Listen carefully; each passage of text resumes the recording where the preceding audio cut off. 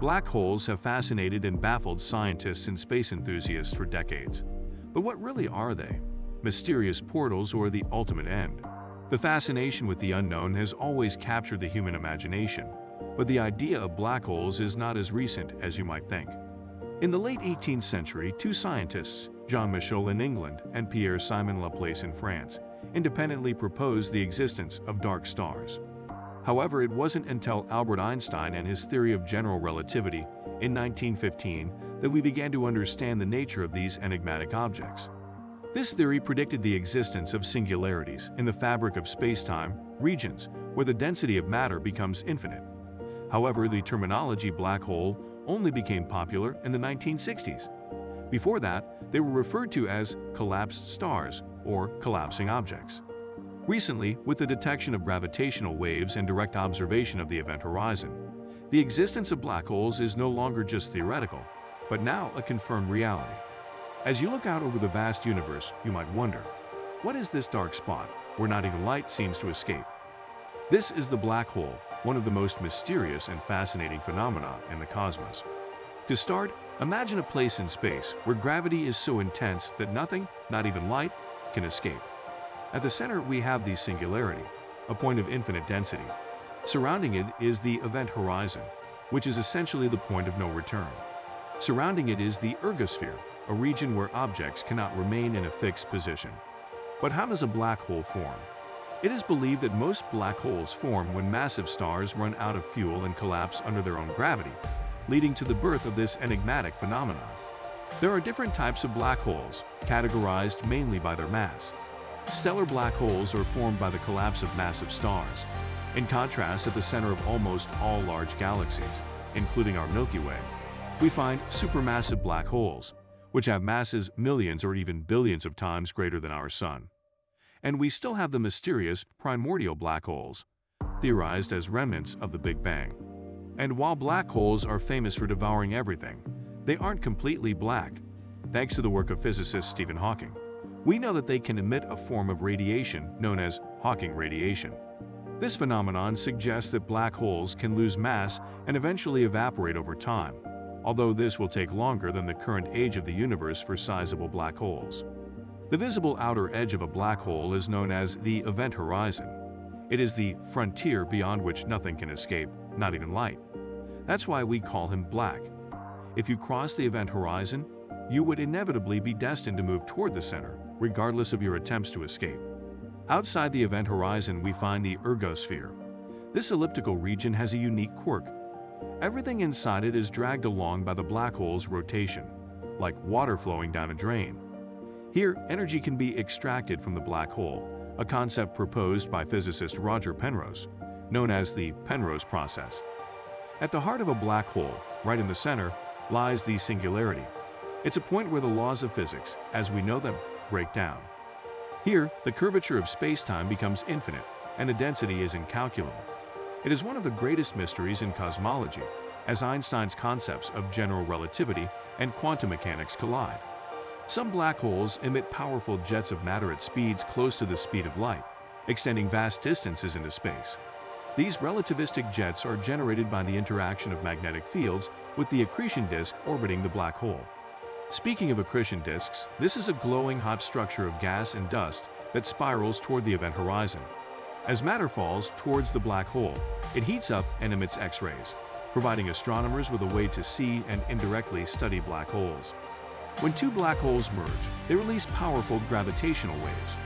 These are ripples in the fabric of space-time that propagate throughout the universe. Detecting and studying these waves opened a new window to understanding black holes and the very nature of gravity. To begin our journey into the origin of black holes, we need to look to the stars, for that is where the story begins. Stars are giant spheres of gas, predominantly hydrogen, that burn in nuclear reactions. Inside a star, hydrogen is compressed and fused to form helium for the process of nuclear fusion. This fusion releases an immense amount of energy, producing the light and heat that we observe. Stars spend most of their lives in a precarious balance. Gravitational pulls everything inward, while the pressure of energy released by fusion pushes outward. However, over time, the star runs out of fuel. For massive stars, when the fuel runs out, gravity wins that battle. In a cosmic cataclysm, the star implodes and then explodes in a supernova, hurling its outer layers into space. The core remaining after the supernova explosion is so dense that nothing can stop it from collapsing under its own gravity. If the core is massive enough, it will keep compressing until it becomes an infinitely small and dense point, the singularity. And so, enveloped by the event horizon, a black hole is born. But not all black holes are created equal. Stellar mass black holes are formed by the death of individual stars. But there are giants called supermassive black holes, found at the centers of galaxies, that have masses millions to billions times that of our Sun. They are believed to grow over time, accumulating matter and possibly merging with it, other black holes. There is even an intriguing theory about primordial black holes. These black holes would not form from stars, but rather in the early stages of the universe, shortly after the Big Bang due to density fluctuations in spacetime. While we still don't have concrete evidence of these cosmic relics, researchers are looking for signs. To truly understand black holes, we need to delve into the revolutionary ideas of one of humanity's greatest geniuses, Albert Einstein. In 1915, Einstein introduced the general theory of relativity.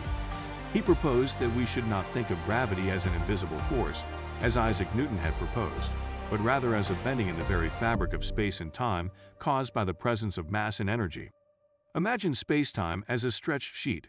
If you place a heavy object, like a bowling ball, in the middle, the sheet curves around it. Likewise, massive celestial bodies like the sun bend spacetime around them. As we approach a black hole, this curvature becomes extremely pronounced. Light, which normally travels in a straight line, is bent so strongly by the black hole's intense gravity that it can be pulled towards it. This has surprising implications. Close to a black hole, the very notion of straight and curved is transformed.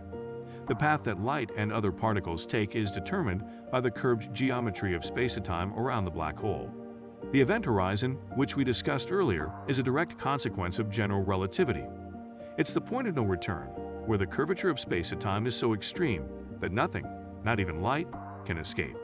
Einstein's theory of general relativity not only gave us a new understanding of gravity, it also predicted the existence of black holes, long before any observational evidence.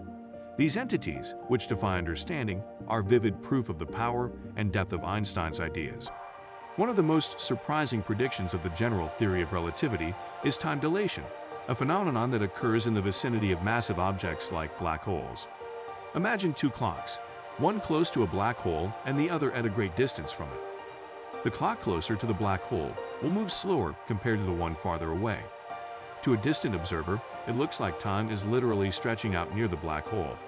This effect is so extreme that theoretically, an astronaut who orbited close to a black hole for a short time and then returned to Earth would find that much more time had passed for the people on Earth than for him. But the distortion is not just temporal. The space itself is also distorted. This can result in unexpected trajectories for objects moving close to a black hole. One of the most beautiful effects of this spatial distortion is the phenomenon known as gravitational lensing. When light from distant stars passes close to a black hole, its path is bent. This can result in duplicate images or rings of light, known as Einstein rings, which are visible to us. Some of you may remember the cinematic depiction of time dilation and the effects of gravity in Interstellar. Although an artistic representation, the essence of these effects is based on solid scientific foundations. For many years, science fiction has enthralled us with the idea of black holes serving as portals to other universes or distant regions of our own cosmos. But is there any scientific basis for this fascinating idea? At the center of a black hole, there is what we call a singularity. It's a point of infinite density where the laws of physics, as we know them, seem to break down. From this conception came the idea of the wormhole, a kind of tunnel through spacetime, connecting two distant points in the universe. These hypothetical tunnels could theoretically allow faster-than-light travel between their ends. Even if wormholes exist, there are formidable challenges to be faced. According to some theories, they would be unstable and quickly collapse unless a mysterious form of exotic matter kept them open. But it is critical to understand that the existence of wormholes is still in the realm of speculation and has not been proven. When we talk about black holes, we often think of them as ravenous devourers of the cosmos. However, its role in the universe is much more complex and multifaceted. Yes, they consume stars, gas, and even other black holes. And in doing so, They release tremendous energy that can send jets of matter at close to the speed of light across vast distances in space. But black holes are not just wreckers. They also play a key role in star formation. The intense gravity of black holes can clump gas and dust together, creating dense regions where new stars can be born. Along our journey of understanding black holes, we've discovered a lot, but as with any frontier of science, new discoveries just lead to more questions. As we look to the heavens, we are reminded that each discovery is both an answer and a doorway to more questions. And in their enigmatic darkness, black holes hold some of the greatest mysteries the universe has to offer. Thank you for joining us on this journey through space. If you liked it, don't forget to subscribe and leave a like. Until the next exploration,